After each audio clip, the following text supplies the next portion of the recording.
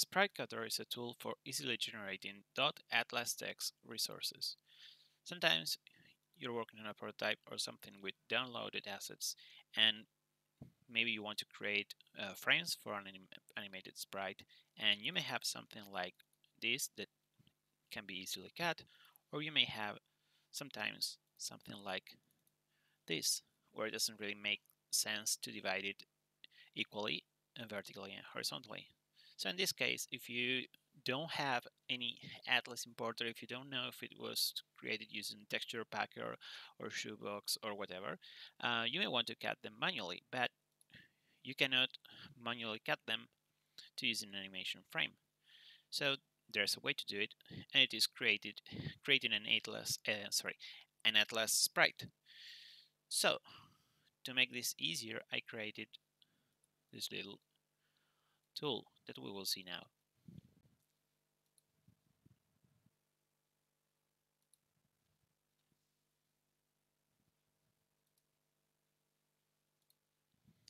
So basically, once we have the tool installed, what we can do is create a new scene using, sorry, forgot to enable it.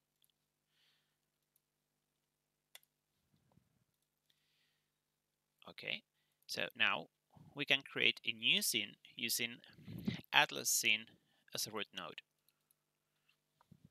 Once we have that, we can add our Atlas as a sprite. And we can set region to on and then maybe using snap auto slice or if it works or by manually selecting them. So we can select the frames that we care about. For example let's say this one. Okay. So I have this one and it can be like fly zero. And then maybe I want also this one.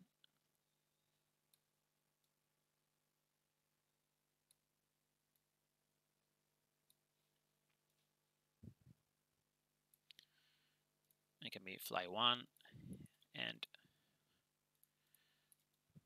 they can be in any position. And this one could be fly 2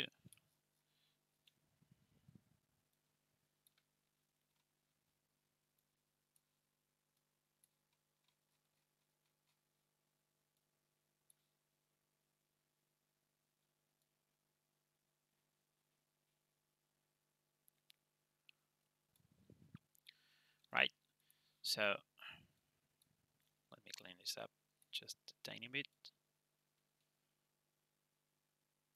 Okay, so we have those three animation frames.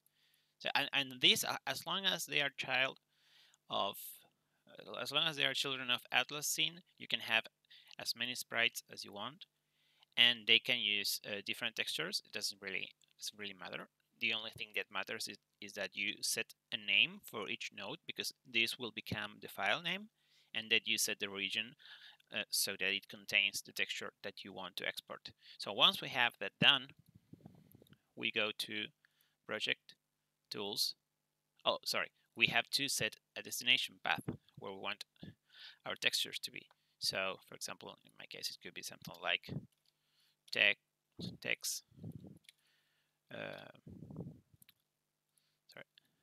text, bird, something like this. And if it doesn't exist, you can just type here. And if it doesn't exist, it will create all the fol folders that are needed so that the export can happen properly. So it doesn't really matter if this is an existing folder or not. So, okay, we have the destination path. We have our sprites. So we do project, tools, sprite cutter, export, Atlas textures. So we click, and then we have our Atlas textures. So we can go back to our animated sprite and we can use them for animation. Okay. And if we want, we can save this. Like this can be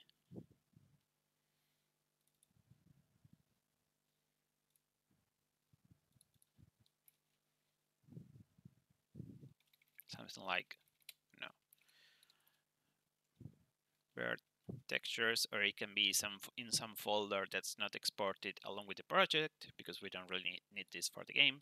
But if we have them like that maybe if if we then change the texture or maybe we need to correct something for example I don't know like this one maybe it should be a bit smaller or larger or whatever. So we do some well, little corrections or whatever we want and or we add a new one we can just run it again and it will override whatever is already there. So just like that you can have as many as as many as you want and create as many textures as you want rather than having to manually create an atlas text resources manually set the atlas and manually set the region here. So you do it once in a scene it's it's in a nice uh, organized way and you get your sprites. So i hope someone finds it useful